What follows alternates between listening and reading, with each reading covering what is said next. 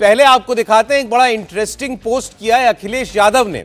अखिलेश यादव लिख रहे हैं सोशल मीडिया पर कि बीजेपी अपने जीवन काल में इतनी कमज़ोर कभी नहीं थी, जितनी कमज़ोर आज हो गई है। आज विश्वासघात का नया कीर्तिमान बना है।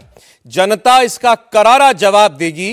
कोई आप पर विश्वास ना कर सके एक व्यक्ति के रूप में किस, किसी की इससे बड़ी हार और कुछ नहीं हो सकती।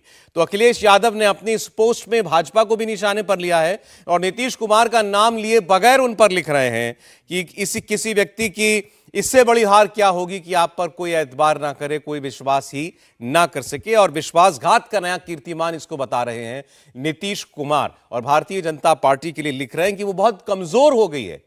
इसीलिए उसको अब नीतीश कुमार का साथ जो है लेना पड़ रहा है।